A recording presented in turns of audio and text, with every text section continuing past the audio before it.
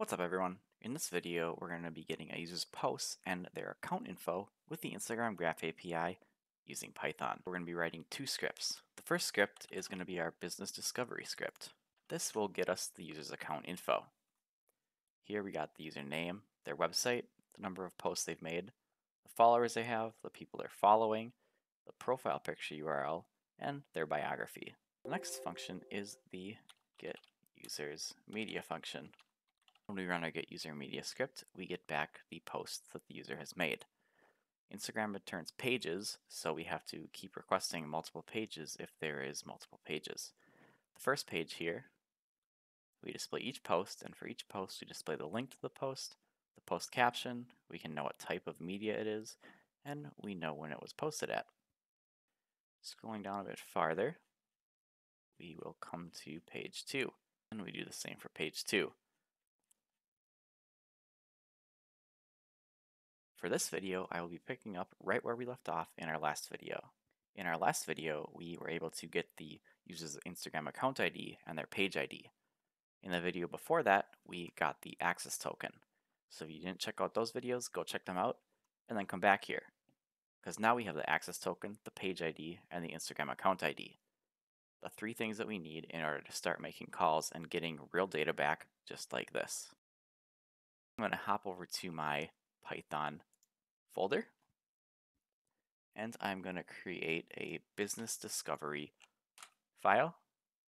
And I'm going to create a get user media file. The business discovery is getting the user's account information, and the get user media file is getting the post that the user has made. Then I'm going to open up my get user media, my business discovery, and the defines file from my Python folder in Sublime Text. I'm going to start with the business discovery file. This is where we're going to be getting the user's account information. First thing I'm going to do is I'm going to include from our defines file the get creds function and the make API call function. These two functions were created and we went over them back a few videos back and they come from our defines file. The get creds function basically returns us all the things we need to contact the API. Access token IDs, client secrets, page IDs, Instagram account. And the API call basically makes it easy for us to hit um, an endpoint on the API. We just pass in a URL and we pass in some parameters. Now that we have access to those functions, we can define our get account info function.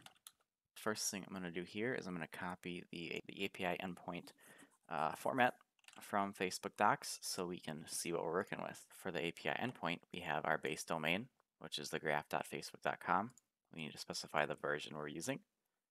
Then we need to pass along our Instagram user ID, which is stored in our creds right here. After that, we pass along a bunch of fields, and these are all the fields that we want to get back from the Instagram Graph API for that user. We first have to specify the username for the Instagram account ID. And so for that, I am going to actually add a new parameter to our creds function, and I'm going to call that our IG username. Since I'm doing this on my own account, I'm going to specify my own username. Now when we call this API endpoint, I'm going to be putting my username in here. And then this comma separated string right here is all of the things that we want to get back for the specific user that we're making this call on. I want to get back my username, my website, my name, my IG ID, my Instagram account ID, my profile picture URL, my biography, the follows count, the followers count, and the media count. And like with every API call, we have to pass along an access token, which we also get from our defines file right over here. Now we can set up our endpoint parameters as a dictionary. The first endpoint parameters is the fields. For each of the get variables here in the endpoint structure, we need to pass along um, a dictionary. So we are going to pass along our fields, and our first in the fields is business discovery all the way up to the access token. One big string. But inside of this string, we need to replace our IG username with the actual variable that we're passing along, which is coming from our params. This is going to be IG underscore username. So we've specified the username, the comma separated string. The fields are all set. Next is our access token. This is the same as all the other calls we have been making. Is our access token key. Just like that. Those are only two get parameters, the fields and the access token. Now we can set up our URL. Our URL is going to be everything up until up until the question mark. In our defines file, we have specified this as the endpoint base, which is our domain and the graph version. Endpoint base, except for this is coming in in the params dictionary. After that, we need to append on the Instagram account ID slash Instagram user ID. That is also our variable from our dictionary right here. And it's not called creds, it's called params because it's coming in from the get account info function. Now we have our endpoint params set up and our URL specified. All we have to do is return our make API call. In here, we pass in the URL that we're hitting. The parameters are passing along to that URL. And then the debug. And debug just means over in our defines file, if we say yes or no, it's going to display out this stuff in the command line, all these print lines. Set our params up right here, and they're going to be equal to our get creds function. Our params are going to call the getCreds function in our defines file, and we're going to get this dictionary. Since the debug defaults to no in this dictionary, we're going to override that and say debug equals yes. Then we can make our call get account info. And we're going to pass along the params dictionary that we just defined right here. Hopping over to the command line, we're going to run this function, business discovery, run it, and it worked. Our debug displayed out the URL we hit, which we set up. We have an extra slash in there, which we don't need, but it doesn't matter, it still works. Endpoint parameters, we passed along our access token and all the fields we needed with my username. And then in the response we got back, we got back in the business discovery object all the things that we requested in our fields. Username, website, media account, name, follower count, profile picture URL, IG ID, the ID of our Instagram account, our biography, and the number of people I follow. I'm just going to fix our extra slash here. We don't need that because in the defines file, our endpoint base actually ends in a slash. So we just concatenate endpoint base slash Instagram account ID, and then we get this. Now all we have to do in this file is do some print statements to make it look a little prettier on the command line versus just dumping out the JSON data. Right below our response, we're going to do a bunch of print statements.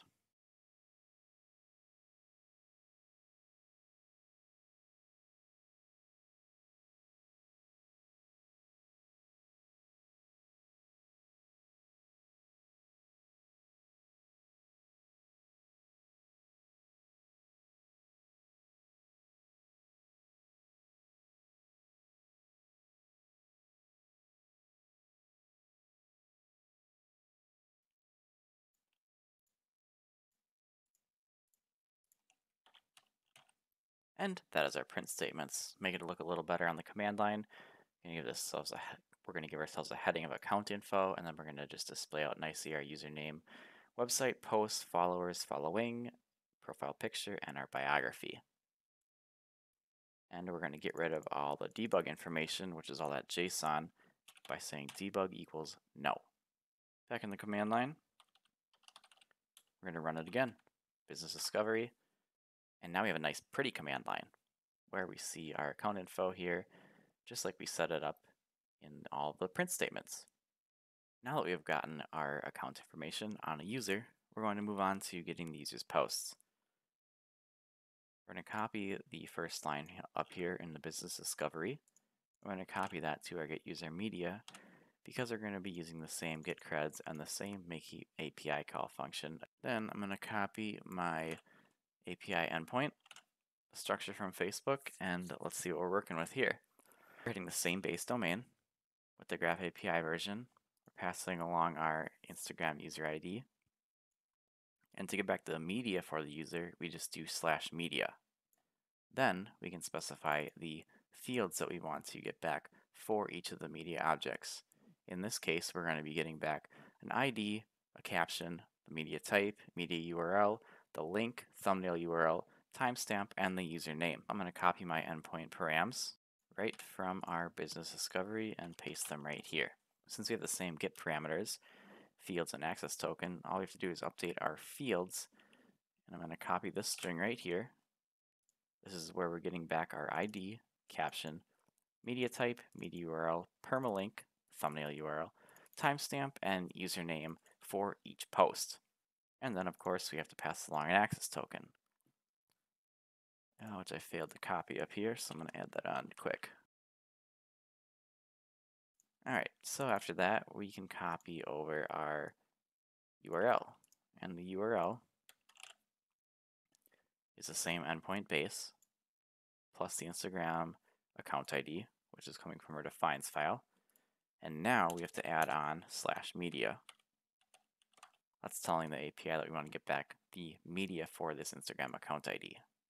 Then again, we return our make API call with the parameters that we've just defined. Now we're going to make our API call. Define params as get creds. Set debug, this debug right here, to yes. Then we're going to call our get user media function and pass along our params. And since debug is yes, we should be seeing a lot of stuff in the command line. So we run the script, get user media, and our debug has displayed out what we got back. We hit the URL we defined, Instagram ID slash media. We pass the access token and the fields that we wanted to get back for each media type. And then down here in our response data, we got back an array of our media with all of the things that we requested in the fields get parameter. This is page one. If you notice up here in our response, we have a paging object. This object right here tells us if we have a next page or previous page. In this case, it's the first page, so all we have is the next. If there was a previous page, say we're on the second page, there'd be a previous key here, and the previous key would also have a URL just like the next key. And all you have to do to get the next page is hit this URL right here. It already has the access token get parameter set along with all the fields that we requested. To handle the next page, we're going to add on a parameter to our get user media function. We're going to call it the paging URL. Around our URL variable, we're going to do an if statement. We're going to say if your paging URL is an empty string, then we want to go ahead just like we were before and get the first page. Otherwise, we're going to set the URL equal to our paging URL right here. That way we can now pass in a page if we want to. Otherwise, we'll just get back the first page. In order to get the next page back, we have to call getUserMedia again. Before we call it again, we're going to set the debug again to yes, and we're going to set the debug on the first page to no. This way in the command line, we will only see the results from our second call. Then in the second call, we're going to pass in the response that we got back from the first call. In our second call here, if you go back to the command line, we're going to be calling our second call with paging and the next URL. We're going to pass this URL in to our second call. Now, if we run this again, we should see the same thing because debug is true, but only for the second call. Scroll up to the top of our call. Now you see the URL we hit is the full URL from the response we got back from the first page. Looking down at the response here in our paging, now, unlike the first page, we have a previous key here. So we have a previous and a next. Because now this is the second page of posts. If we call this URL right here, we will get back the first page. Since we're on the second page, we call the next function, we will then get back the third page. And again, we got back an array of data, which contains all the posts on the second page with the fields that we specified in our fields array. So now that we have gotten back the posts and we've seen how to do the paging, we're going to set our debugs both to no, and we're going to display it out so it looks prettier in the command line. To do that, we need to loop over all of the posts. In our function here that we get back, the data key contains the array of posts for the current page that we're on. And here we're just going to do a bunch of print statements.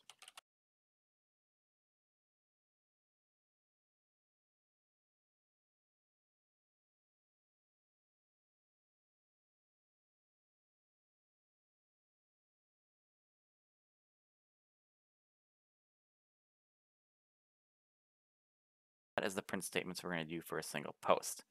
We're getting rid of all the JSON debugging on the command line and we're just going to print out our link, the caption, the media type, and when it was posted. For this, I'm just going to do a page so we know what page we're on.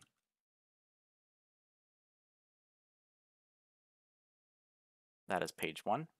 All we have to do for page two is do the same thing. Update this to page two, and everything else is the same because now our response has been updated to our second get user media call. Now we're going to run our get user media again. Now we see a much cleaner display on the command line. I scroll back up to the top, here is where we start, page one. For each post, we got our link to the post, the caption, the media type, and when it was posted. Scrolling down a bit farther, we should see a page two. There's page two. And the same thing for page two. Each post, we display all the same things. And I'm just going to pick the first one off of page two to verify this is legit.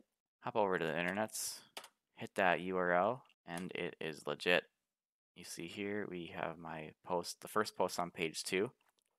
My Friday, can you relate? Bunch of hashtags back in the command line here. That's exactly what you see. My Friday, can you relate? It's an image, and it was posted at that time. And that is how you get a user's media. We can specify the fields we want to get back for each post, and if there's multiple pages, we are able to traverse through each of them, forward or backward. And that is going to wrap up this video. We have written a script to get the user's account information, and we have written the script to get the user's posts. Thank you guys for watching. Hit that subscribe button, leave a like, leave a comment. Let me know what you want to see coded up next. I'll catch you later.